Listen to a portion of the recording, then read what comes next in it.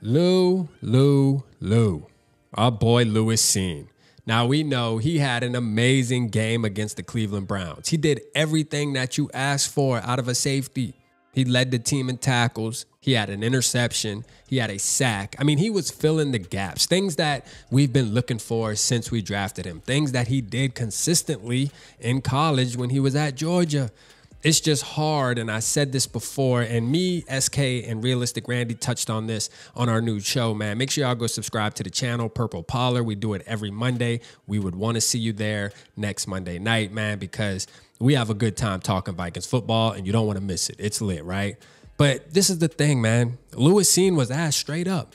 Do you think you've earned a spot on this 53 man roster? Now, there's a lot of us that feel like no, all right? Time has already ticked away, it's got away from them. There's just no redeeming yourself. I don't care if you get 10 picks next game and 50 tackles, it just doesn't matter. There's just something not there. But what I do respect about Lewis Cine is this is how he answered, man. A man's confidence, bruh.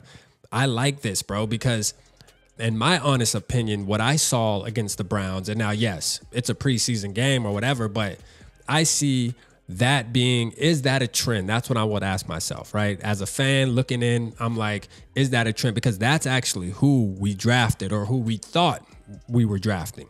You know, so I like what I saw. I'm gonna keep it real. But he said, I'm not oblivious to knowing this is a business at the end of the day, but I am confident in myself. I like that. He said, A healthy me is a dangerous me. That's all I have to say about that.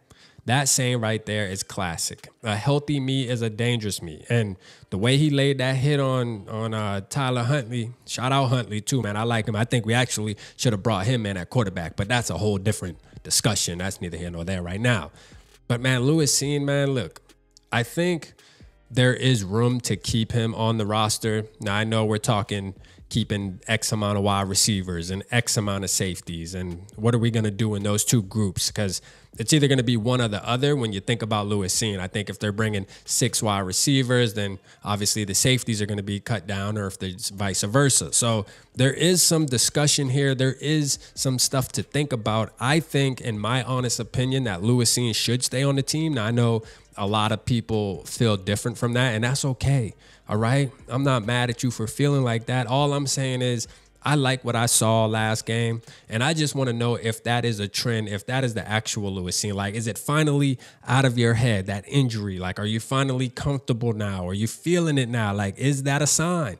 Because players can switch back to their regular self within one game, and it's tough because time really isn't on his side. And we got to expect to see him in one more preseason game against the Eagles and hope that he has another game like that. But I'll tell you what, if he has another game like he had against the Browns and he leads the team in tackles and winds up getting a pick or a forced fumble or something and a sack, I'm going to tell you right now, he going to make the 53. Yeah, he will make the 53 because – knowing Kwesi Adofo-Mensah, he's going to look at that as a trend. That's a trend now. Now he did it two games in a row. Okay, it's finally here. Lewis Cine has arrived. Now, whether we get rid of him, trade him, cut him, whatever the case may be, it's not going to be any skin off my back, man. I, I just want to see the kid win, to be honest with you.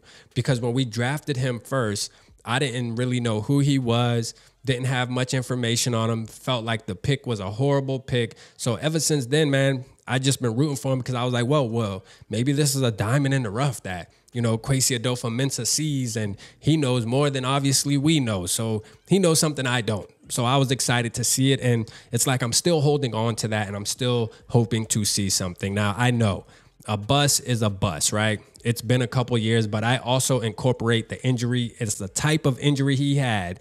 I always said when that happened to him that it's going to take a minute for him to get that out of his head, man. I think it's a lot of mental stress because when you snap your leg like that, bruh, you just, you know, I'm sure he gets reruns of that in his head as he's running in a gap about to lay the hat.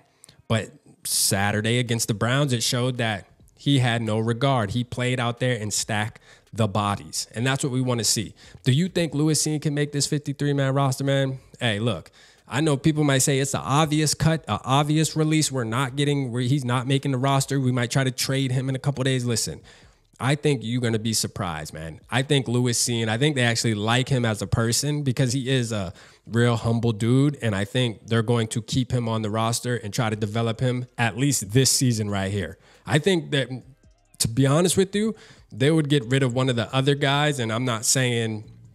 I'm not saying it's going to be Cam Bynum, obviously, or Harrison Smith or Metellus, but I mean, Theo Jackson, yeah, he's been balling in, in training camp, but that last game, he didn't look good either, bro. He didn't look good either. I'm just saying. I'm just saying, man. Drop it down in the comments, man. Let's talk about it. Let me know how you feel, man. With Lewis Cine be a Minnesota Viking going into the 2024 season. Let me hear about it. I'll let your boy.